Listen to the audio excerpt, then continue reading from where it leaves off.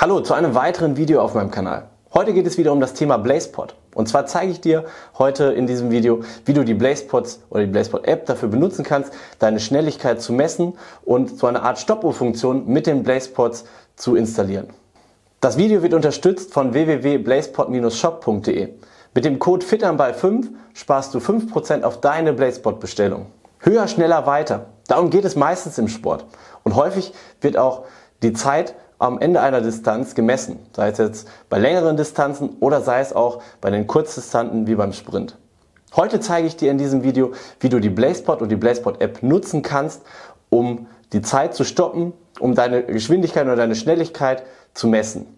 Bisher haben wir relativ häufig den Modus äh, frei kreiert, heißt die Lichter sind immer zufällig angegangen und der große Nachteil bei diesem Modus ist, natürlich hat er auch sehr, sehr viele Vorteile und hohen Aufforderungscharakter, aber der große Nachteil bei diesem Modus ist es, dass ich die Zeiten zwischen zwei Sportlern relativ schlecht vergleichen kann, weil durch die zufällige Wiedergabe oder die zufällige Einstellung der Lichten ist es natürlich nicht möglich, die beiden jetzt haargenau zu vergleichen.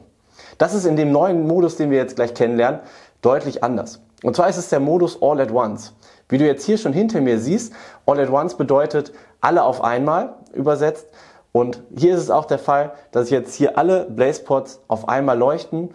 Und es ist jetzt erstmal egal, in welcher Abfolge ich die mache, aber am Ende zählt die Zeit, wie lange ich brauche, um alle nacheinander auszumachen. Hier kann man natürlich auch vorgefertigte Räume auch schon zur Verfügung stellen. Wenn ihr jetzt zum Beispiel hier, ich blende jetzt mal ein Video ein, wie ich das bei uns am Tennisplatz gemacht habe. Das habe ich mit neuen Blazepots aufgenommen, aber die Abstände sind immer wieder gleich. Heißt, wenn das jemand jetzt bei sich durchführt mit den Blazepots, kann man am Ende die Zeiten super vergleichen, weil es sind immer dieselben neun und die sind immer an denselben Stellen angeordnet. Und dadurch gibt es mir natürlich auch als Trainer die Möglichkeit, Sportlerinnen oder trainierende Teilnehmer meines Trainings da untereinander zu vergleichen, weil die Voraussetzungen für alle gleich sind. Und jetzt bringen wir in die App und schauen mal, wie wir das Ganze einstellen. So, wir sind jetzt in der App, klicken auf Create und wählen dann uns oben unseren Modus aus, All at Once. Dann fügen wir unsere Pots hinzu. Ich habe jetzt hier, wie du hinter, im Hintergrund auch siehst, auch sechs Pots benutzt. Die gebe ich jetzt hier ein und wähle auch meine Farbe. Ich möchte das in Rot machen. Das war für mich jetzt bei den Lichtverhältnissen draußen besser zu sehen. Und abschließend stelle ich noch Cycles ein und auch die Dauer dazwischen, wie lange ich Pause haben möchte dazwischen. So muss ich nicht nach jedem Durchgang die App neu programmieren. Abschließend gehe ich auf Start und Hit. So hat jeder Teilnehmer selber die Möglichkeit, seinen Durchgang separat zu starten, ohne dass der Trainer ein Signal gibt. Er tippt dann einmal schon vorher auf den Blazepod und danach leuchten alle Pods auf. Und hier nochmal ein Beispiel, wie ich äh, Sprint einsetzen kann. Ich wähle zwei Pods aus. Ich habe es jetzt hier an den Netzpfosten festgemacht. Übrigens, die Fassung passt übrigens genau zu einem Netzpfosten. Na, auf Tab geht's los und dann kann der Teilnehmer selber bestimmen, wann es für ihn losgeht.